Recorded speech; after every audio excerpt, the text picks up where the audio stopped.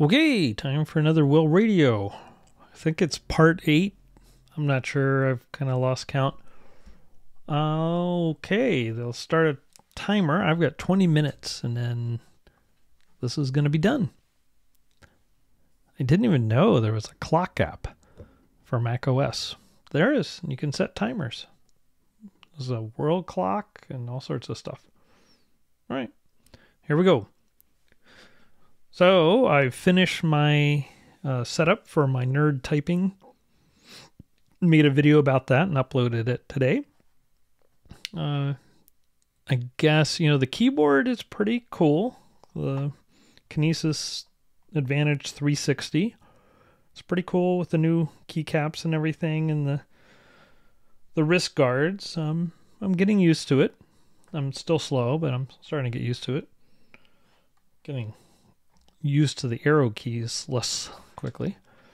Uh, Dvorak layout seems very cool. I wish I had tried this before.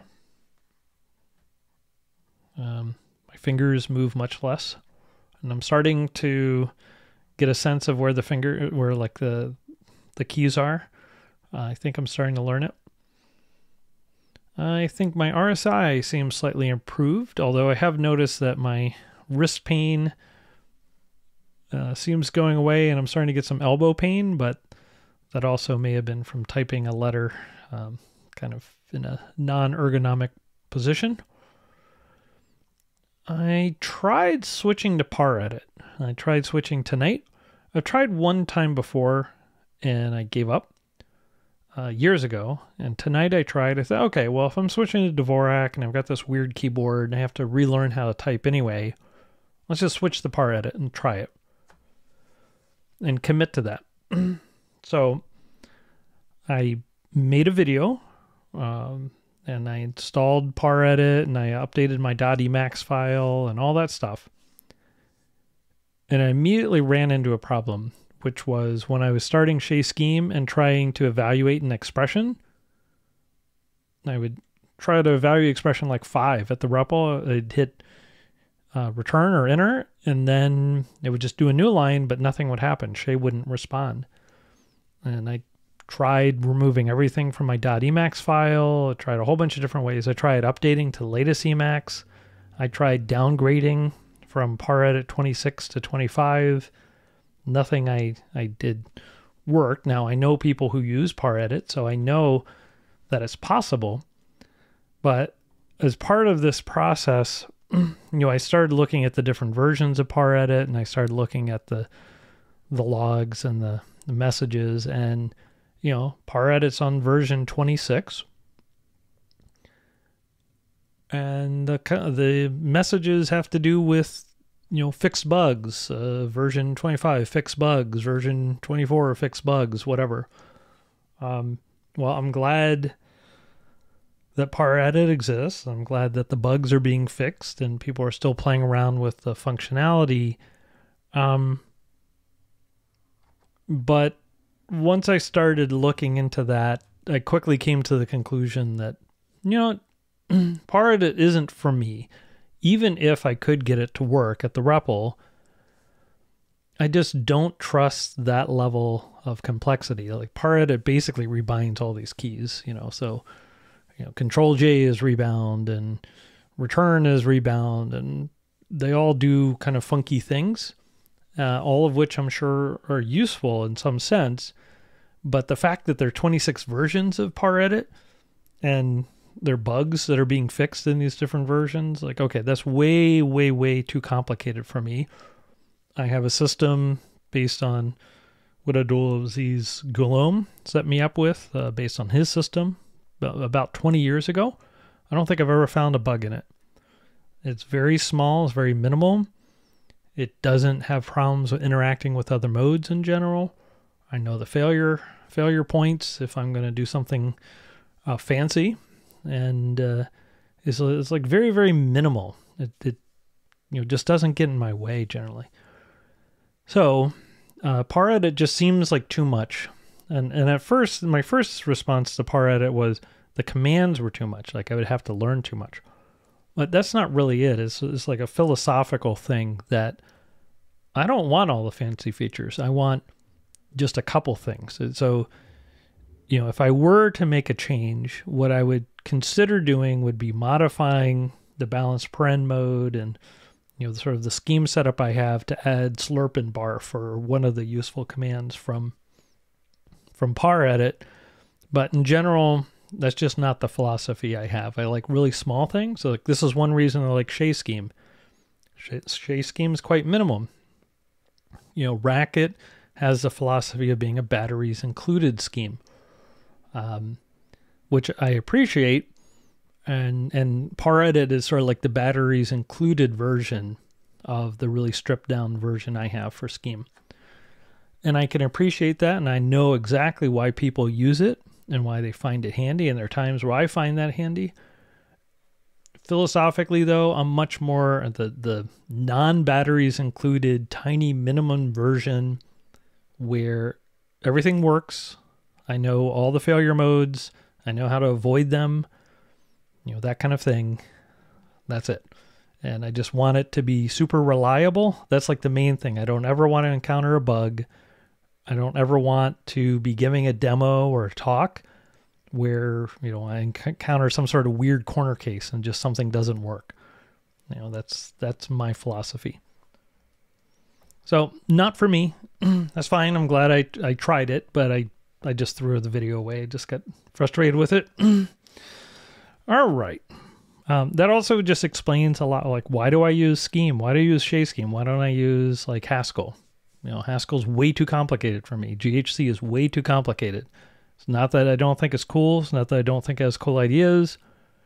I'm very glad it exists. I'm glad people are exploring um, the ideas in Racket, but you know, not for me for something for me to explore my own ideas.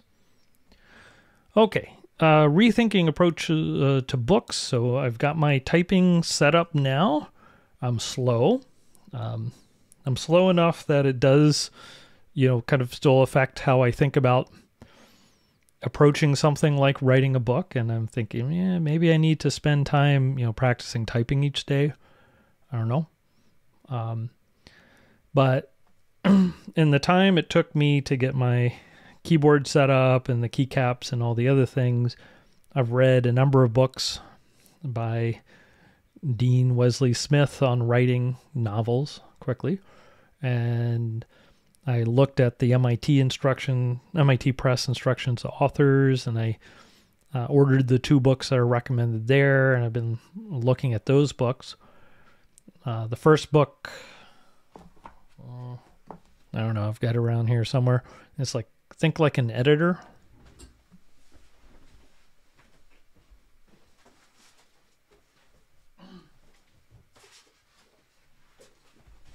Yeah, here it here it is. Thinking thinking like your editor, how to get how to write great serious nonfiction and get it published by Susan Rabiner and Alfred Fortunato. Okay. And then the other one is Getting It Published, a guide for scholars and anyone else serious about serious books. Third edition by William Germano. So these were both recommended by um, MIT Press if you're going to approach them with a publishing project. Uh, you know, the Thinking Like Your Editor book I think it has a useful perspective as to what an editor, especially from a commercial publishing house, is looking for. Uh, it also kind of turned me off in, in the same way that once I started doing online uh, uncourses and things like that, my tolerance for what I see problems in a standard classroom and standard course setting, you know, uh, my tolerance for that stuff decreased. Where it's like, you know, if I'm doing an uncourse online, the people coming to it are interested in the topic, and there's not a grade, and there's not, you know, there's not arguments over grades, and there's not distractions about that, and uh, you know, there's just like a totally different mindset. And I was reminded of this when reading this book about uh, thinking like your editors, like, okay, I understand why the editors in the commercial publishing houses think this way. Um, but you know, in the world where you can self-publish, I'm not sure I want to play that game. So uh, it was a little, I guess, I was a little turned off by the fact that MIT Press says these are the books to read um, if you want to do a project with them. But of course, I I have two editions of a book with MIT Press, but that was through Dan, who's gotten lots of books published with them. And I think it has changed over time, kind of how they, they do things. Um, the other book, getting it published, well, this book I think is useful still. I mean, I, I think both books are useful, but you know, the first book made me think maybe self-publish. Uh, for the second one, you know, it talks about dealing with uh, rights for quotations and long excerpts, and if you want to publish a poem or a, a, photograph or painting, you know, like dealing with that stuff. So there's like a lot of mechanical things that I think are interested in, in interesting in that book. You know, both books are, I think, have things in them that are worthwhile, but it also makes me think, yeah, you know, what I'm trying to communicate was say like the the most beautiful program ever written what i'm trying to communicate may just not align that well with you know what a commercial publishing house wants. Now a place like mit press maybe it's fine you know maybe even o'reilly or manning. Um, but i'm not sure. You know i'm also i could totally just self-publish and also you know whatever i'm going to do is going to be under some sort of creative commons license so people can always just download it. So uh, but but the other part is you know how many books i'm going to write how quickly what exactly are the books? I've also been rethinking that so you know i committed to doing 11 books this year at a certain rate um, as soon as my RSI started, you know, hitting me, it was like, okay, I, I maybe need to to uh, take a little break and think about this. Um, you know, what I really want to do with both these videos and the writing and everything else I'm trying to tie in with the videos is get myself unstuck. You know, like Minsky said, intelligent behavior is the ability to get yourself unstuck. I keep saying that there are things that are important to me I want to spend my time and attention on and I'm not doing those. I'm not spending my time and attention on those. So I'm trying to align what I spend my time and attention on to be much closer um, to what I what I claim is important to me. Um, so that's the real thing. And whether or not I publish 11 books this year or one book or two, you know, that doesn't matter what matters to me is getting unstuck and making progress where I can get a book out the door. I can finish a book. Um, now, I do want to be faster because I, I think there's no reason for me to be as slow as I am. Uh, but I think a lot of it is just like like uh, Dean Wesley Smith says, being a fast writer doesn't mean you type quickly. It means that you spend more time, uh, you know, sitting in the chair typing each day um, than someone else. So, you know, my average amount of time working on a book uh, in the last year, you know, probably a couple minutes a day. So I want to improve that. And of course, I didn't finish any of those books.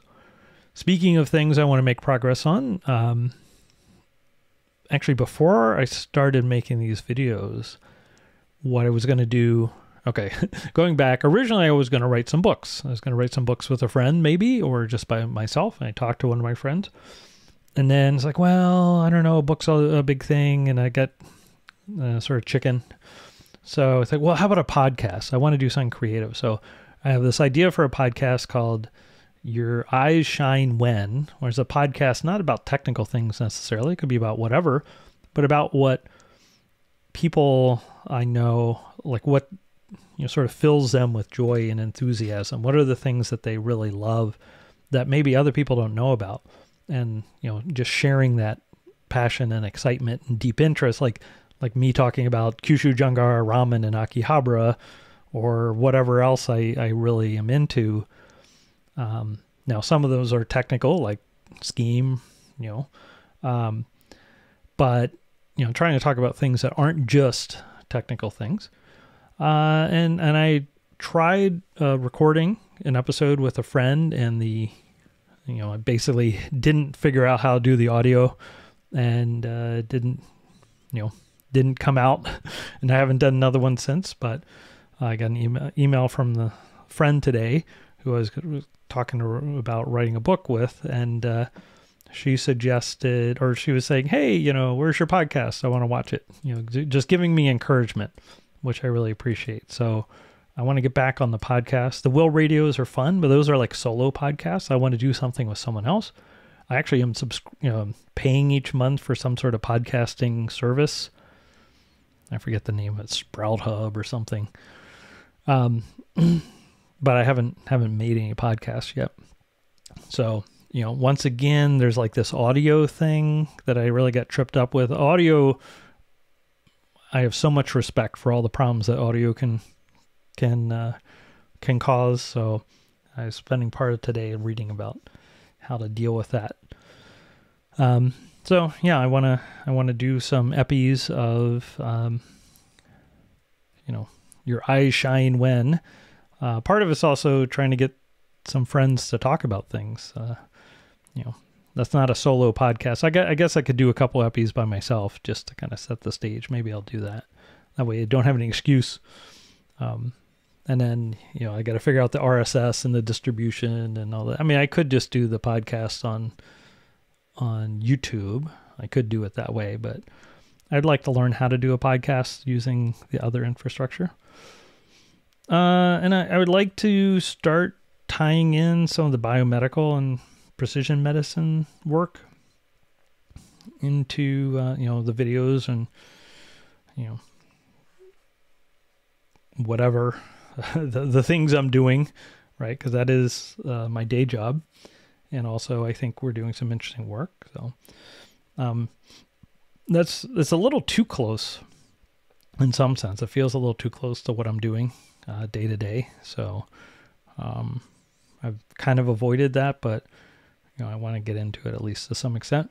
And then um, what I call the big game uh, that's the only term I've ever, I've only used it with it myself internally, but uh, aging interventions is something I've been interested in for 30 years or more. So, like, let's see, when I started at college at Chicago in 1989, I started reading about molecular biology and I realized, oh, in 30 years or so, it's likely we're going to start having technology or it might be possible to make some sort of intervention on aging, slow it down, or even reverse in some or more than some ways.